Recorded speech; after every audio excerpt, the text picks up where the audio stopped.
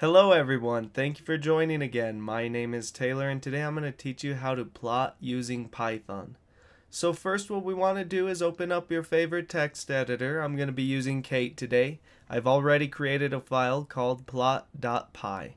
You're also going to need a terminal to run your programs and also install the required modules.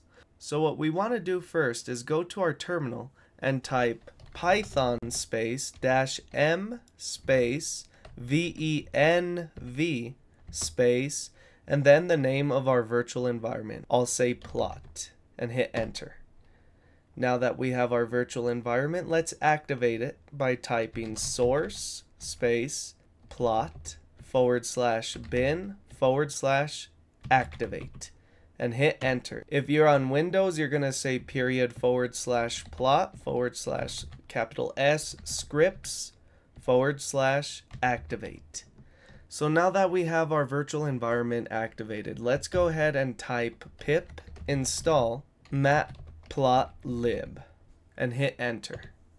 Okay, if you see a message like this saying that it's successfully installed, that means we're ready to proceed. Let's go ahead and clear the screen.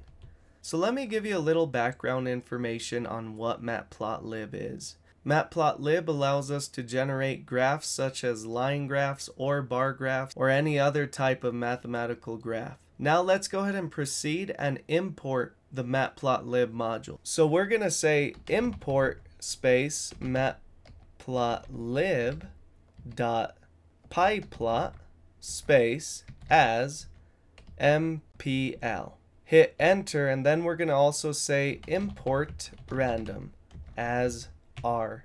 We want to import random so we can generate random numbers for our data set. If you already have a data set, go ahead and use that rather than using a random generated data set. So now hit enter a few times and let's create our main function we're going to say if underscore underscore name underscore underscore double equals add quotation underscore underscore main underscore underscore add a colon at the end and hit enter. Now let's generate our random data set. So we're going to say data is equal to open and close brackets r dot rand int open and close parentheses 0 comma i. So why do we use 0 to i? Well, i will always be incrementing by 1, and 0 will remain the same, and it will give us a random integer between 0 and whatever the current value of i is. So now that we have that, push space for i in range, open and close parentheses, and we'll generate 20 values. And now we can plot these random numbers. We'll say MPL, this is our variable name of matplotlib, dot plot, open and close parentheses, data. Hit enter and type MPL dot Y label, open and close parentheses, open and close quotations, numbers. Hit enter and type mpl.x label, open and close parentheses, open and close quotations, range.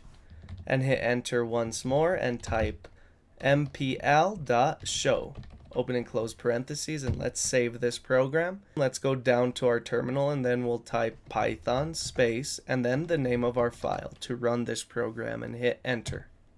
As you can see here are the random numbers that were generated from our data set that we created here.